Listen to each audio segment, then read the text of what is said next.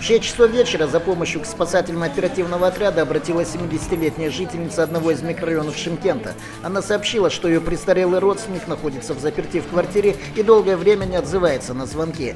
На место спустя 20 минут прибыли спасатели оперативного отряда. Они обнаружили, что дверь была заперта на ключ изнутри, поэтому оперативники приняли решение вскрыть ее при помощи инструментов. Через 7 минут спасатели вошли в квартиру и обнаружили 76-летнего хозяина на кровати без признаков жизни. Прибывшие позже врачи констатировали смерть мужчины. Как говорят специалисты, в последнее время участились случаи смерти пожилых людей, оставшихся без присмотра. Только с начала этого года зарегистрировано 5 таких фактов.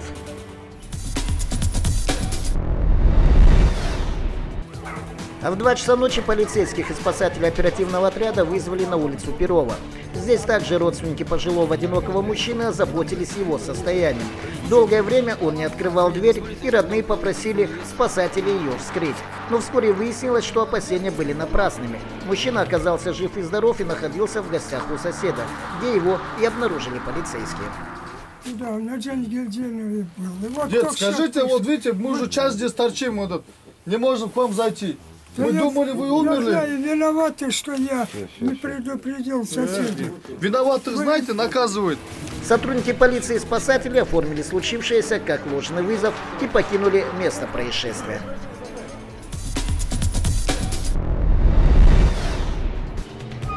Сотрудники Альфа-Арабийского РУВД провели очередной рейд по несовершеннолетним. В течение трех часов они посетили несколько кафе, игротек и ночных клубов. Полицейские выявляли подростков после 11 часов вечера, посещающих увеселительные заведения. Уже в первые минуты рейда полицейские на одной из улиц задержали первого несовершеннолетнего, нарушившего установленный режим. Меня зовут Батырхан, я 1997 года рождения. Знаю, что после 11 часов вечера на улице несовершеннолетним ходить нельзя, но я шел к своему другу, который приехал из Турции, забыл про время. Впрочем, не все задержанные добровольно соглашались проехать в РОВД. Некоторые, не имевшие при себе документов для выяснения личности, отказывались следовать за полицейскими.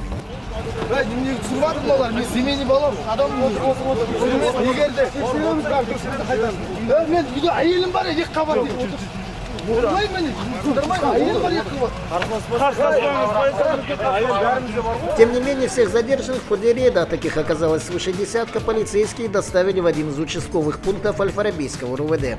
Там их данные были проверены по полицейской компьютерной базе. Родителям подростков теперь предстоит оплатить денежные штрафы.